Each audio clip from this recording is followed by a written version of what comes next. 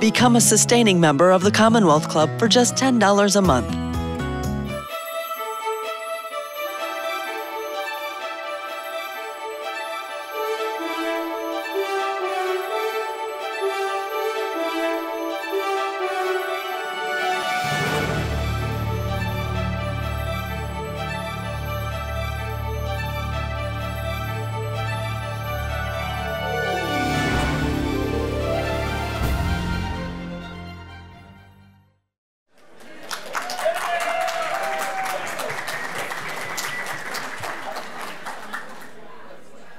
Good evening. I um, have been really holding back a lot of emotion for the last few minutes. This is a dream come true for me. Thank you. Um, for those of you who I haven't met yet, my name is Emiko Ono, the Director of the Performing Arts at the Hewlett Foundation. And welcome. Thank you so much for being here. Our performing arts team has an amazing program in store for you this evening. We're going to have an amazing panel conversation by three amazing women. I'm going to stop saying amazing, but that's just how I feel right now. Um, we'll have a performance um, by Hewlett by Hewlett 50 Arts Commission's awardee, Faye Carol. Uh, you have a treat in store for you there. And then we'll have a celebratory reception after, which, which I hope you can stay um, around for. But before, I'm, I'm feeling butterflies because y'all are like my heroes. And I can't believe I'm talking in front of you. Um, so before we get started, I just I want to say a couple of things. I want to say a few things about the Hewlett Foundation, who made the Hewlett 50 Arts Commissions possible how the initiative came to be, and um, then I'll introduce the program. So I want to go actually back to the Hewlett Foundation's first beginnings in 1966. Um, Bill Hewlett, who was the H in the HP of Hewlett Packard, and his wife Flora, and also their oldest son Walter, started the foundation. The legend that it was around the kitchen table, but we recently learned that it was actually in the living room. Um, and it was always his vision to have a professional foundation that was independent from HP, and we, we always have been independent from HP. But his vision was also that it would be a professional foundation that included some of the family. They would participate, but it wouldn't be a family foundation. And that's the Hewlett Foundation that we have now. It's really in his vision. And it's one of the world's largest foundations. And we're so grateful that it's in the San Francisco Bay Area. Um, the foundation now awards about $600 million every year.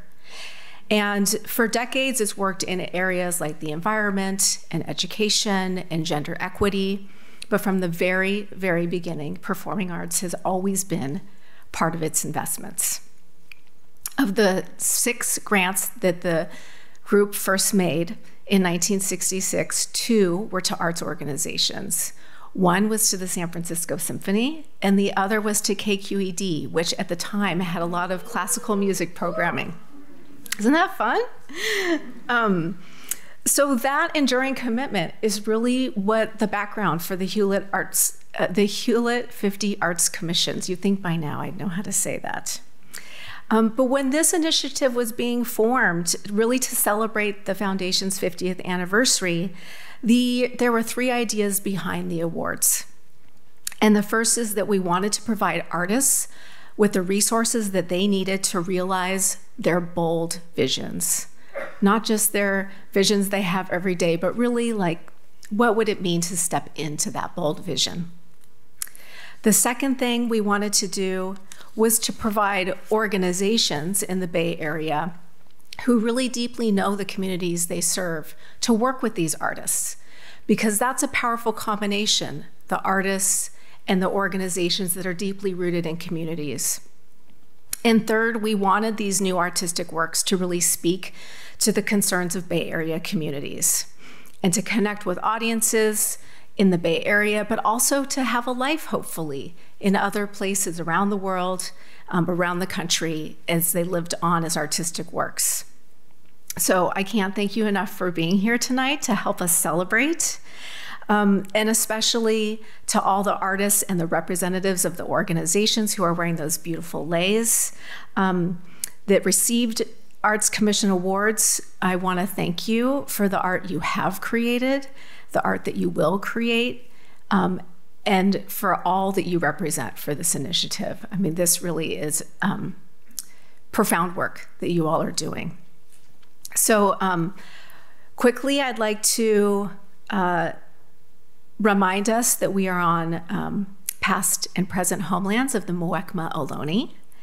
And I lo- always like to do land acknowledgements because they're a reminder of the violence, the migration, and the settlement that has brought us here today and really was a subject of so many of the projects that you all created. Um, it's very much part of our history and our present day here in the Bay Area.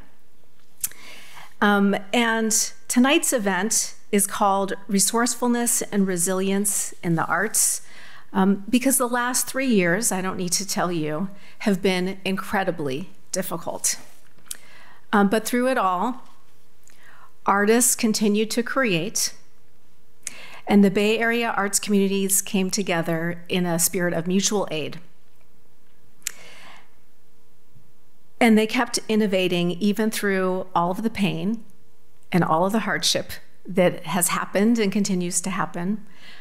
Um, they've continued to innovate, they've continued to adapt to meet the needs of the public, but also to feed people's souls when they really needed it most. And so that's the spirit we're here to celebrate tonight. Um, that so many of the carefully laid plans were really upended and you know, they switched formats, virtual, new venues, people's work that was going to be staged ended up being online. Um, and, you know, being together at one point was truly a dangerous act, and people still found a way to create. They were still doing it. And so tonight we really wanted to celebrate everyone who's been through this process, been creating works through it all. That's all of you. And we wanted to really celebrate the resilience and the resourcefulness of you all. Um, so let me introduce our terrific panelists. First, we have Zannie Voss. She's a professor of arts management at Southern Methodist University, as well as the director of SMU Data Arts, a leading research center. We're also joined by Liz Lerman, who is, I think all of you know, a visionary artist, choreographer, writer, and educator, also a recipient of the Hewlett 50 Arts Commissions for her work Wicked Bodies that premiered at the Green Music Center in Sonoma last year. And moderating the discussion is Chloe Veltman, um, who is the West Coast correspondent for NPR's Culture Desk. So please join me in welcoming Zannie, Liz, and Chloe to the stage.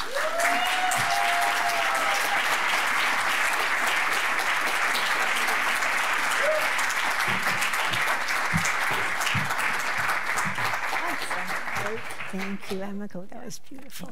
Beautiful. All right. Hello, everyone. It's lovely to be here.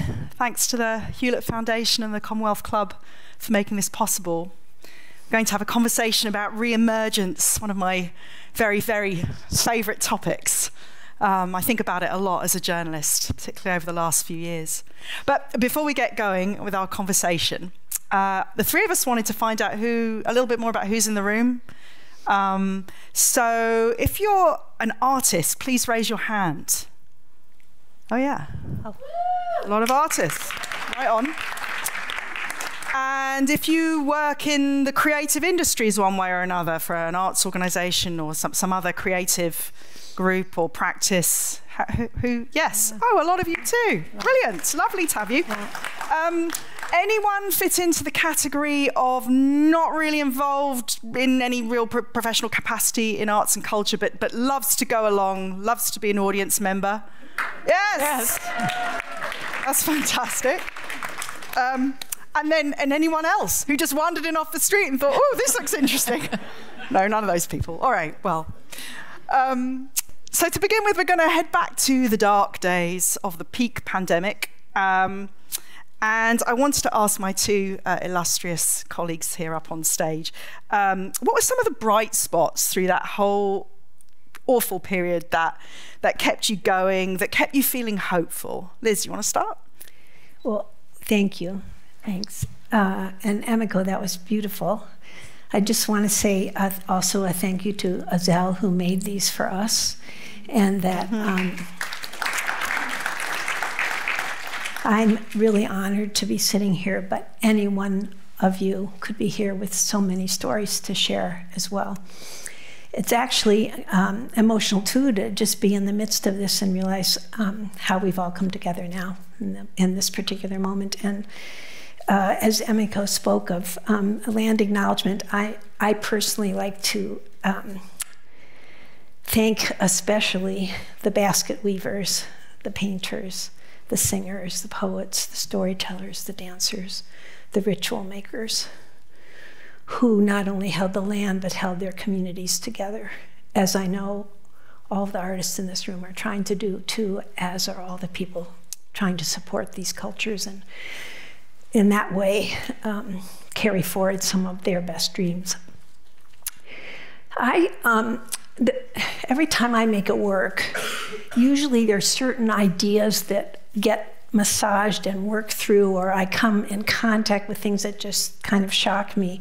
Two pieces before Wicked Bodies, a project I was doing with physicists at CERN, they put me in contact with the uh, Heisenberg uncertainty principle, which probably some of you in this room have heard about, it, you studied, you might have learned the equation. This is a bastardization of the Heisenberg uncertainty principle I'm about to give you, but it speaks to me um, and has since I ran into it uh, as a way to kind of conceive some through lines in, in our work. It's something like this if you measure the shape of something, you cannot feel or see or experience its velocity. But if you measure the velocity, if you move with the momentum, you cannot see the shape. It strikes me that this, uh, it's, first, it's a really great choreographic thing, right? We're, dancers are trying all the time to figure out what's the shape. If I hold this long enough, you'll see it. But on the other hand, please let me just move and feel and you know go with it. But I've come to see this has a lot to do with change with institutions and with how we make things. So, um, when I was on a tour in Edinburgh, I wandered into the museum and saw something, an exhibit called Wicked Bodies 500 Years of Drawings of Witches. This was almost 10 years ago. I wasn't interested in witches before I went in, but when I came out, I was completely absorbed. completely. I mean, it was pornographic, it was symbolic, it was wretched, it was it was ridiculous. It was it kind of like the ideas that um, you know they're cannibals and uh, eating children in the basement of the White House. It's like it's kind of like that. And for that reason, thousands and thousands and thousands of people, mostly women, were murdered. Mm. Your mothers, your sisters, your daughters, your, uh, and people who were just different. So that was what I was trying to figure out. And I made many, many, many false turns. Some of those false turns had to do with the pandemic. But none of this could have been possible without the support of what Hewlett did. Because Hewlett, with the beautiful Jacob Yarrow and his team at Sonoma State, said, here is enough money to support somebody to go through all the ups and downs and ins and outs and impossibilities of trying to come to terms with that subject matter at this time in this country under the situation that we were in.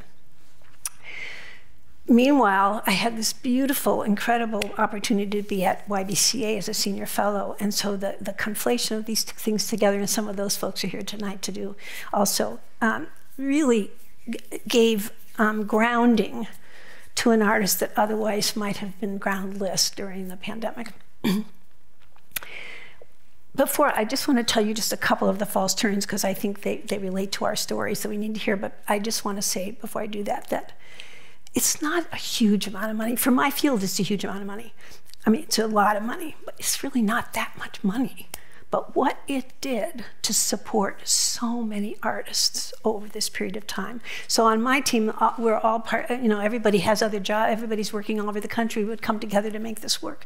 We had like um, Darren West, our sound designer, a Tony winner, so happy to have some work sustained during the pandemic because all the rest of his work was gone. So the witches got the best of Darren West. was, you know, so we were supported by, and here's where this shape thing comes in for a minute. There is no shape to this project. Most of us start with nothing, no shape. Enough of a something that 20, 30, 40, 50, 100 people could engage in. And then we were hunting for that shape. An early idea why is some knowledge criminalized, some knowledge erased, and some knowledge celebrated? And where did those witches get that knowledge from? First round of, of ideas, I thought, great, someone wants to collect the witches because they have some knowledge that this person wants.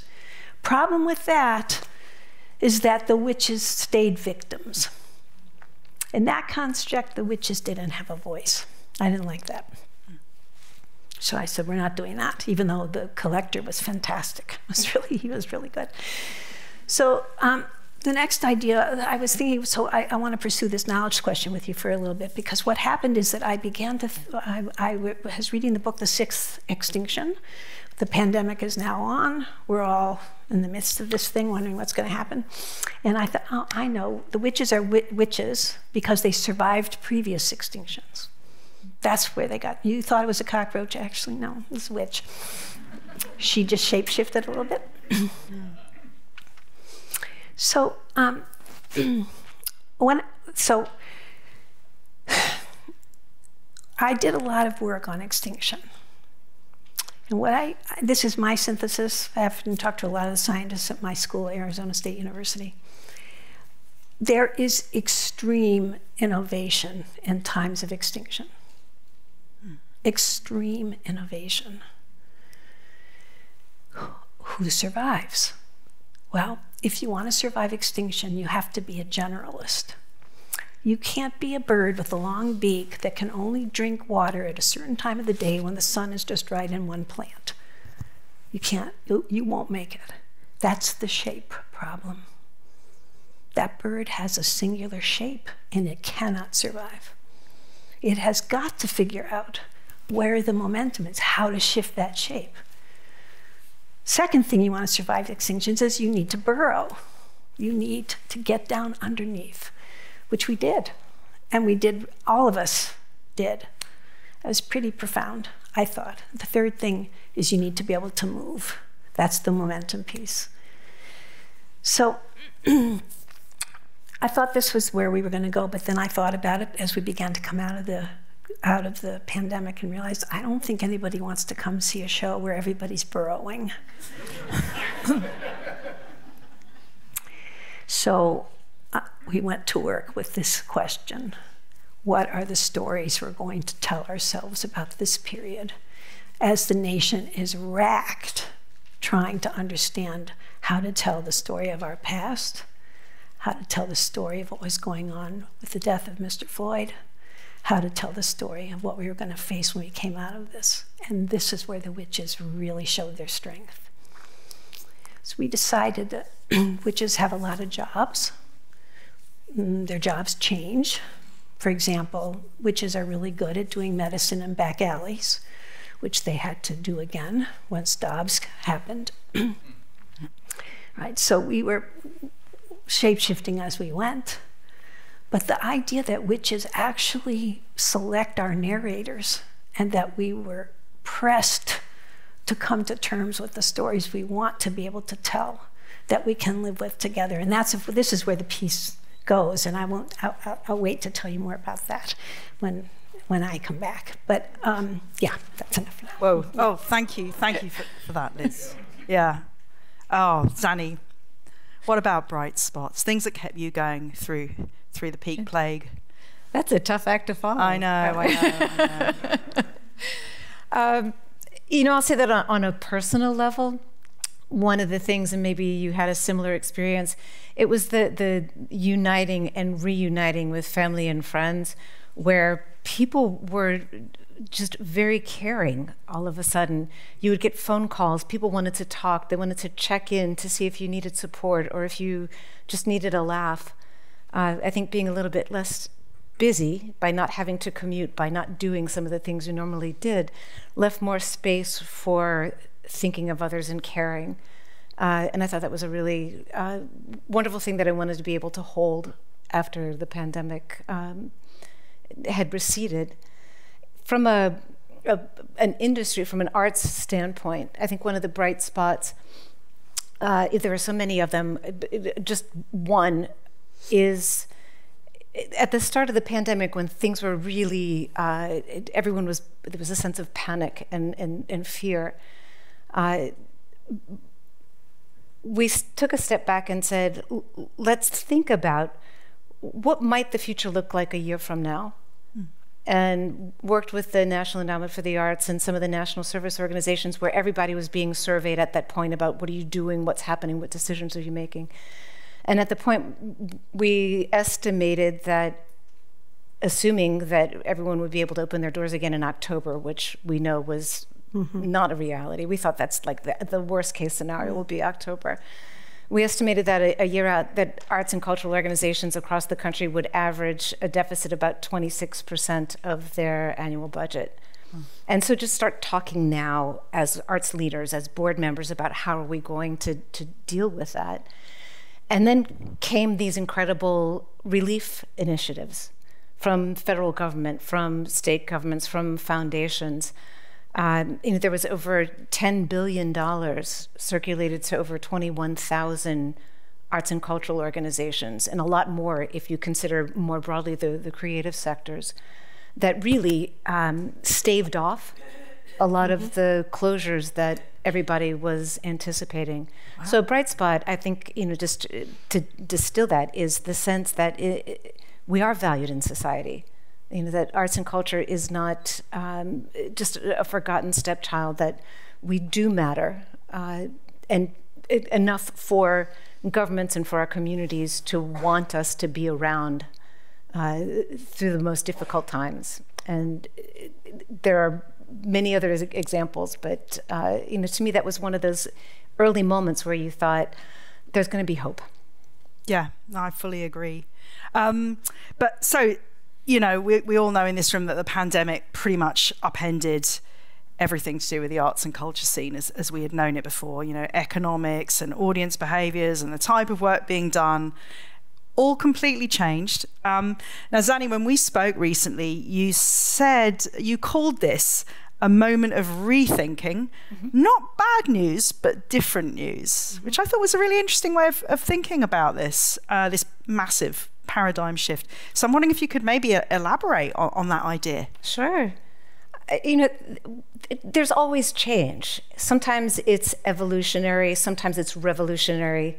Um, and this was one of those moments where, you know, I think there's a, a bad thing of, of always looking around saying, well, you know, things are constantly changing. There's inflection points everywhere. This was really an inflection point. This was really a time where everything around us changed. Uh, and at the start of the pandemic, we were just finishing up a, a project um, that was about the alchemy of high performing arts organizations, working on it with Wallace Foundation, where we were interviewing 20 organizations that had done a big turnaround in their history versus 20 that were just always, had been knocking it out of the ballpark in terms of their, their performance. And in understanding from these incredible arts leaders what was some of the secret sauce to their success, one of the elements was adaptive capabilities that came up over and over again. To your That's point, what Liz is saying, yeah, yeah, about change. Th- this ability to know how to be nimble, and amid uh, all of the different factors that people talked about, and kind of the, the slow burn that success takes. All of a sudden, adaptive capability was like downstage center in terms of its importance. Um, and when there's that much environmental dynamism, hostility, turbulence, uh, there were some incredibly successful organizations, organizations that seized that moment Um, and I'm happy to give a couple of examples of, of mm-hmm. them. But two things that we noticed one was the really successful organizations stopped and said, okay, here's our mission statement, here's why we exist. If we blew it up and said, given this mission statement, what are five other ways we could be working towards this mission statement? We don't have to just do things the way we've always done them. The who we are will remain the same, it's the how that will change. Uh, and they also reflected on um, that there was a, an organization called Community Wealth Ventures, and they always they, they were about trying to be able to generate more ancillary earned revenue.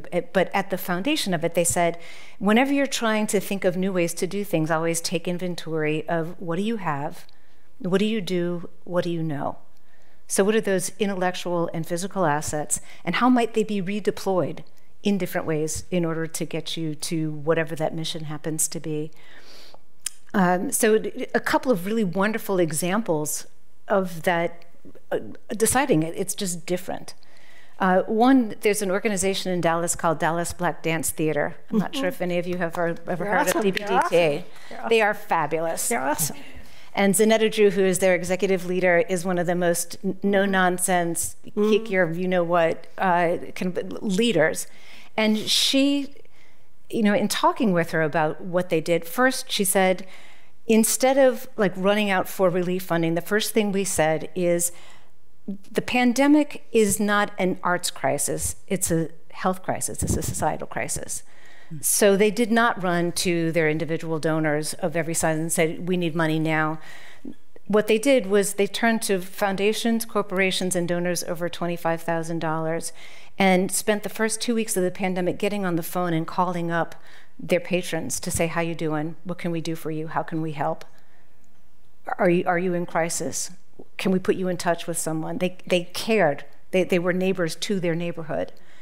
And they decided we need to be sustainable. So every decision they made was about sustainability. They offered no programming free of charge in a virtual space. Everything had some price with it. They said, We're still a professional dance company, we're still going to charge. And in the first all virtual dance season, they wound up um, earning six figures in revenue that kept them sustainable. Mm.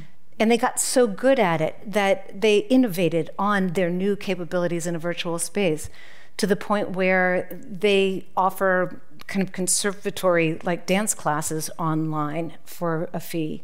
They have contracts with four school districts now for online programming. They have um, basically started the Netflix of the arts. It's on demand DBDT programming that you can access anytime.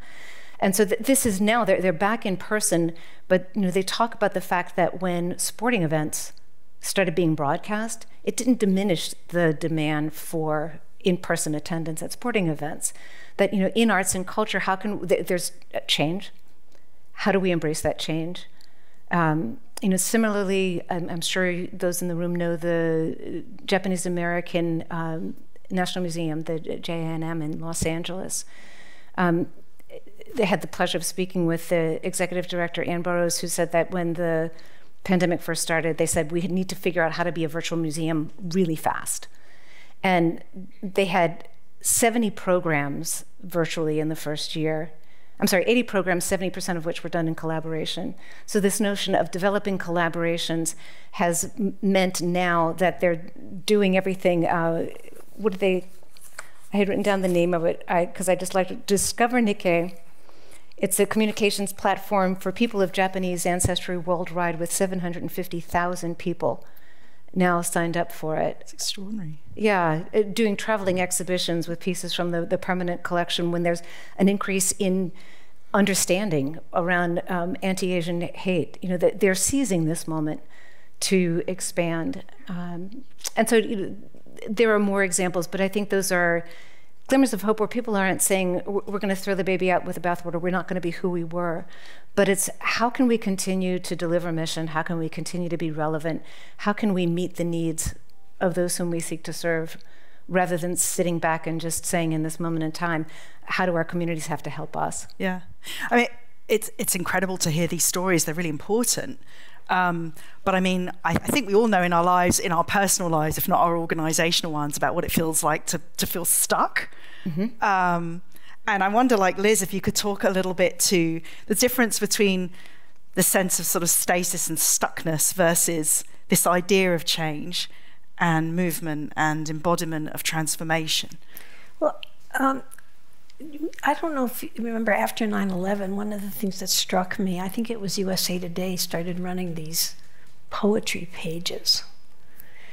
And all there was just this outpouring mm-hmm. of poetry from people who don't consider themselves poets.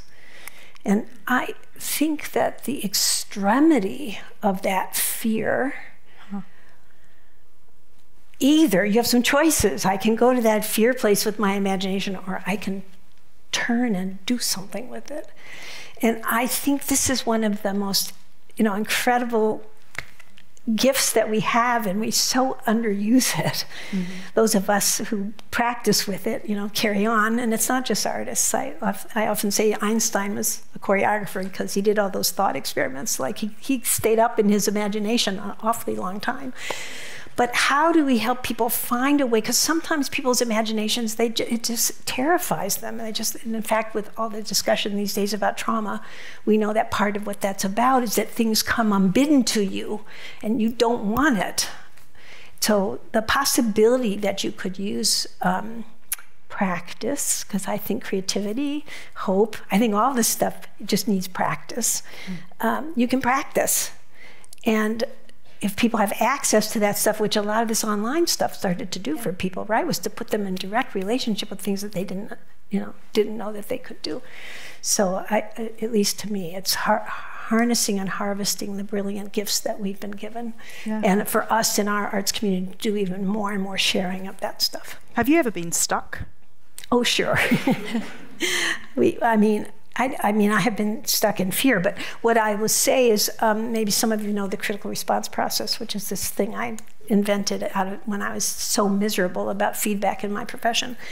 But um, just an example of being stuck. I was actually, Jacob, it was during um, tech, because there we were checking, we didn't know what we had still.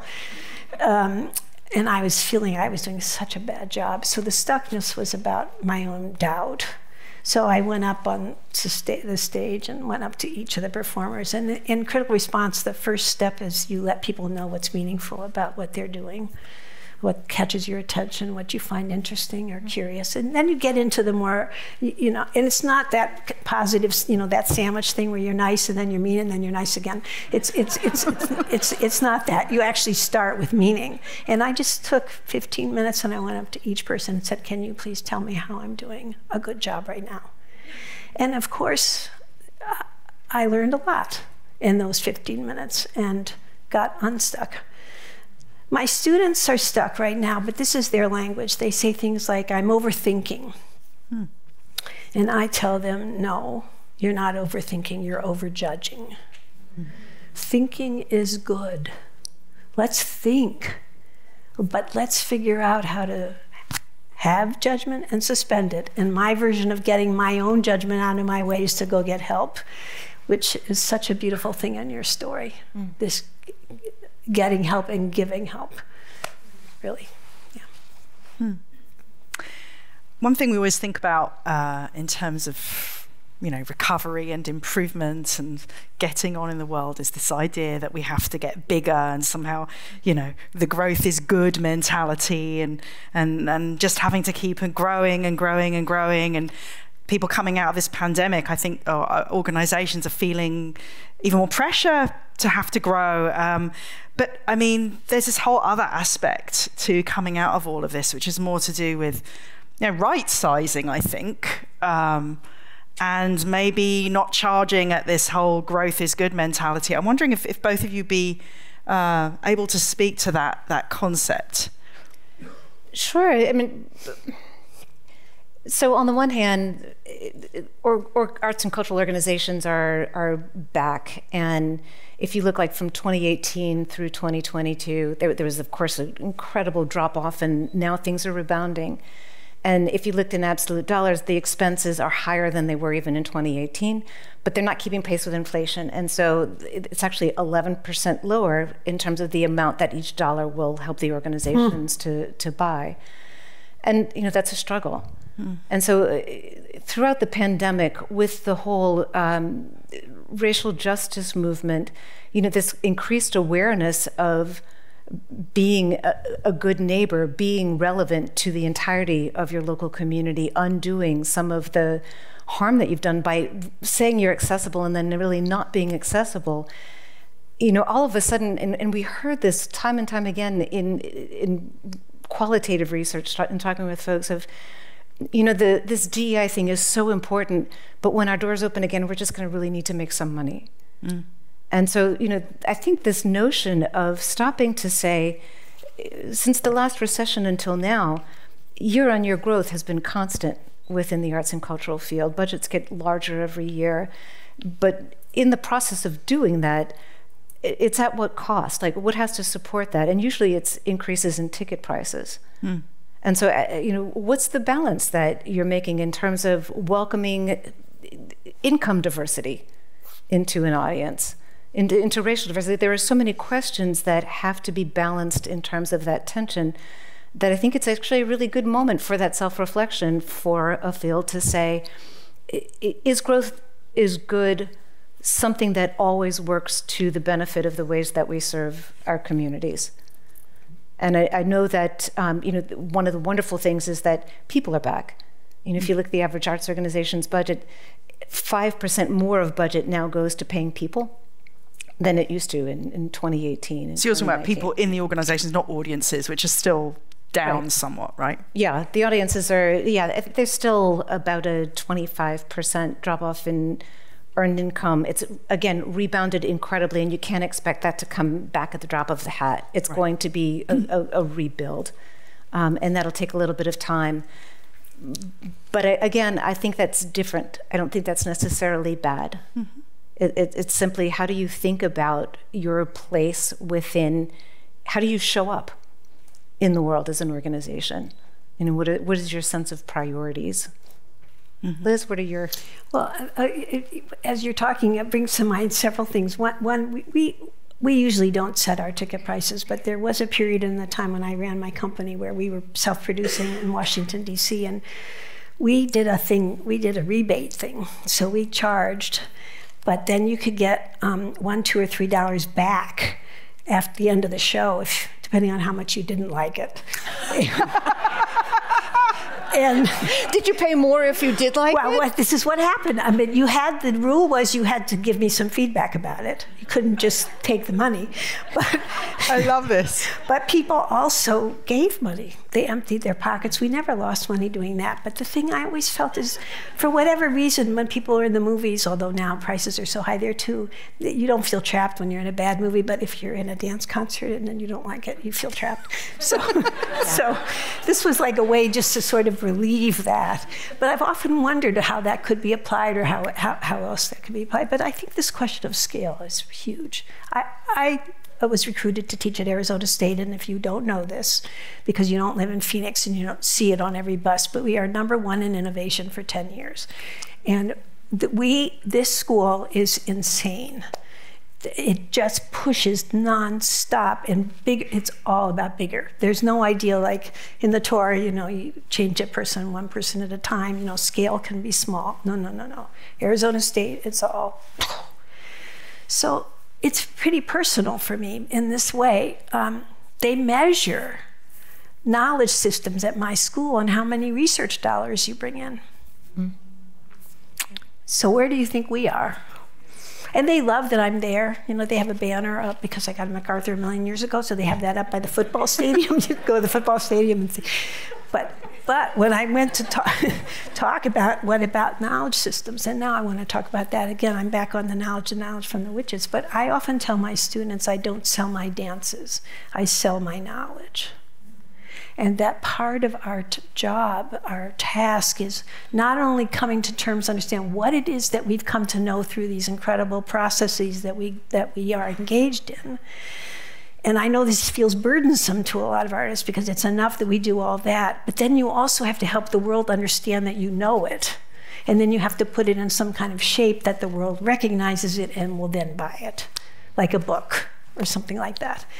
Although those don't make very much money, but but just, I, I, I think that um, we just have we have so much knowledge. If we could figure this out and work through this scale issue, and certainly our, the younger generation is aware of the pressure around scale because they think about themselves and the planet every day, mm. every day, yeah. and um, that that is hard for them.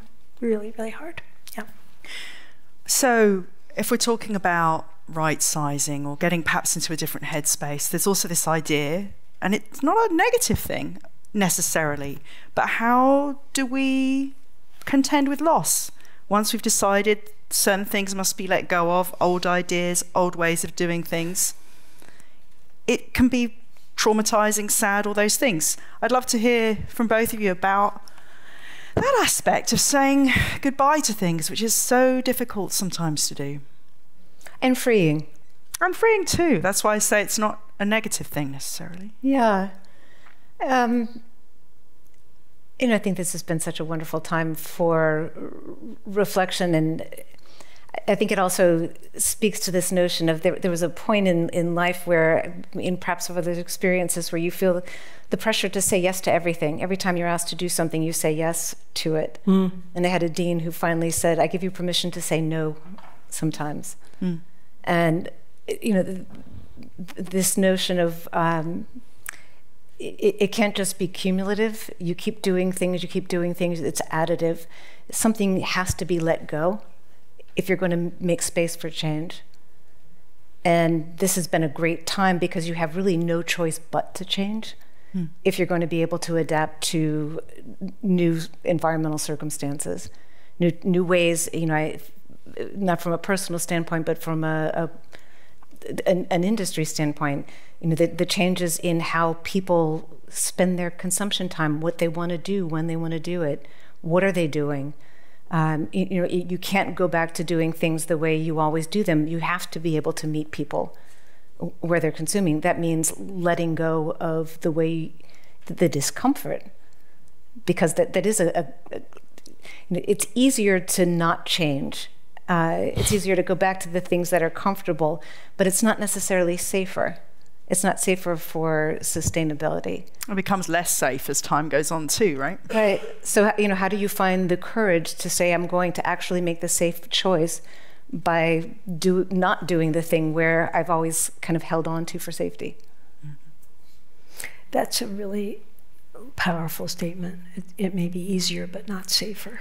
Mm. I mean, even if that was a a filter that people used when they're thinking about these things, whether it's institutions or individuals. I think we may forget, or maybe there are people in the room who experienced this, but in the early days of COVID, well, maybe halfway through, I remember that we were losing people and people couldn't go to funerals. Mm-hmm. And I, I am very close with somebody who was not able to attend her mother's funeral, and um, she is really suffering still mm-hmm. about this. So we, I think. Um, and this is where uh, sort of the choreographer, the ritual makers, the, the meaning of why we come together starts to matter. I, I think people will come back to the theater and the dancing and stuff when it matters. And how, how we help it matter to them. And it maybe it's not that they come all the time, but once a year for some sacred festival or an opportunity to remember a mother that they lost and they never got to attend to. But I, I really feel we, um, I don't know, when you guys get, if you get new clothes, do you take something out of the closet? That's sort of my rule. I do, definitely. You know, bring something in, take something out. And I consider that practice for the harder things. Bring in a new idea, an idea has to go. Or at the Dance Exchange, we had a thriving program called Dancers of the Third Age where we worked with older people. And so we, we had to let that go when we moved in a different direction. And so we, and I just feel like if you take the time to honor it, have ceremony, make sure that people know their work mattered. Like, for example, boards of directors, when institutions have to change and the board does yeah. not want to let it change.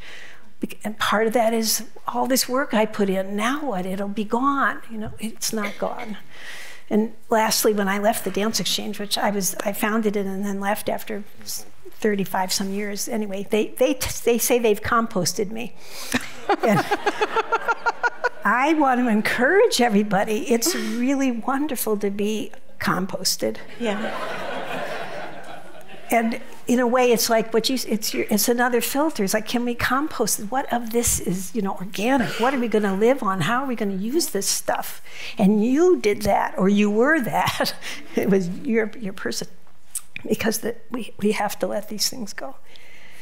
I get excited taking the recycling out. You know, just that sense of it. It, it always feels uh, like like you've made space for the something else. Yeah, I agree. I feel exactly the same way about all of that stuff. What do you think about it, Chloe? You're being so good asking us questions, but what do you think? what do I think about composting, or what do I think about what? Any of this that you want to talk about? What do I think about any of this? Yeah. you pick. you pick. Um, goodness. Well, all right. I'm going to talk about um, some things that, that that make me happy. I mean, I spend my life as a reporter. I have the, the great honor and the great privilege of listening to people's stories. I mean, it, there's nothing more um, edifying in, to me in, in the whole world. And I feel like the luckiest person alive to, to do that. And, and the, the trust that's involved, right? It, it cannot be understated what it takes someone to share, to share their experiences. And, and especially reporting on the arts, especially at a time when things have been really devastating for so many people, you know, to get to hear about how people are working, finding their way through all of this has been really the thing that's kept me going, honestly. And uh, I've done lots of stories over the last three years um, to do with, with, with organizations, and I've been incredibly impressed by how some of them have found these new ways they've been able to do this shape shifting thing that you've been talking about so incredibly. I mean, things I've heard about, like, uh, rehearsal cooperatives in New York City where small performing arts organizations that wouldn't otherwise, I mean, they, they're basically priced out. They can't rehearse. And now there's very nice space in the meatpacking district, which is, I think, free for BIPOC companies. Um, and they can use the space. I mean, but the pooling of resources is incredible. Or the story about the small performing arts company in Denver that basically took took it on itself to um, get a big old school bus and do it do these. Um, uh, these shows about um, the environment, about um, climate change, with community members who live in, in some of these very devastated communities, uh, living in the shadow of power plants and stuff like that. Um, so, you know, there's that. But I think probably from this whole time, uh, the, one of the stories that sticks out in my mind the most and that carries me forward the most is uh, about this incredible nurse uh, here in the Bay Area. Uh, her name is Amineh Moghaddam, and she's Iranian American. And I don't know, I can't really, honestly, it's lost to, the, to time how I met her, but she, for me, embodied the spirit of how you get through creatively through a pandemic because all day long she's, uh, you know, in the whole kind of hazmat suit doing COVID tests and helping, you know, people who are potentially very sick. Uh, and then she's suddenly decides she's going to pick up photography as a hobby. And she's out there taking all these incredible pictures. And then she's never really much of a cook. She suddenly decides, oh, now cooking is my thing, and I'm going to make these fabulous meals, and I'm going to bring cakes to people. Anyway, she had this whole creative life that kind of blossomed during the pandemic alongside the work she was doing as a, as a, as a frontline nurse. and I, I couldn't believe what I was hearing from her that joy, that sense of resilience, her beauty, the way she moved through the world. And I carry that. I carry Amineh with me, you know, uh, through all of this. And every time I, I think about getting through and re emerging, I think about her. But anyway, enough from me. We've got three minutes left on the clock. I want to hear from both of you. Uh, so now, at this time, how are you both finding resilience and hope at this time in your lives? Now that, you know, we're coming out of, I think, all of this? Hmm. Um, well, I will share that it, it, it, it's not it's not over. I lost a sister-in-law to COVID just two months ago. That there, it's not over yet, mm-hmm. and I think that there's a, a sense every time that we would like to just put it behind us, that it will affect our personal lives and our professional lives for many years to come. Um, what I what gives me most hope right now is I've tried really hard to adopt a daily practice of, of gratitude, of thinking about, uh, you know, the, the, the, expression of how do you eat an elephant one day at a time. You know, hope isn't something that's out there in the future. Hope is today. And trying to think of in every day what's going to be the best moment of today and keep that presence, that there's, there's joy in not letting it pass by. Because I think that that's uh, the, the moments of least hope is when you feel like you've just lost a week, you've just lost a month, and you never stop to purposefully try to find the things that will give you peace. Mm-hmm. Lovely. Liz. Um, the, the show that I've done with Brett Cook, the visual artist, is still up at YBCA until through, through June, yeah. June, middle of June, and I would love it if you could go see it. But it's fabulous. Because Do check it out. Part of what that show and being at YBCA with Brett has done is reminded me of the power of relation and relation over time. I mean, he and I were supposed to be there for a year. It's three years, and this is where the pandemic was wonderful because they just kept extending and we got to stay in relation. And when I think through to the longevity of having time. Like I encourage all of my you know, the young people that I see, you know, get laboratories. I was five years in residence at Children's Hospital, ten years at the Roosevelt Hotel, twenty years at my synagogue. 30, you know, long periods of time to test and test and test and test, so that Jacob and I, also in relation for so long, could withstand the ups and downs of all of that that we went through. So you know, all of that feels just really important to just take the time. And uh, the other thing is, um, speaking of time, is I'm old, and I had a big birthday, and uh, I find myself in, a, in, in, in this new habitat, and I really love it. It's like this plateau, and it, there's no horizon. I mean, there is one, but you know, but I don't I don't know where it is, and so it's risky. And risk is a wonderful thing in fact, risk and hope go together. Mm-hmm. I mean, they're tied together. And up, you know, there are the little green shoots around my students, and there's these old tumbleweeds, and there are other people up there, you know, our age wandering around. It's very breezy and very beautiful, and um, I find that hopeful. Like just to be up there and, you know, see what happens. Well, thanks, and here's to New Horizons. And thank you both for the lovely, edifying discussion. And thank you. Thanks, everyone, for being thank part you. of it. Thank you. And that's it. All right. Beautiful. Beautiful.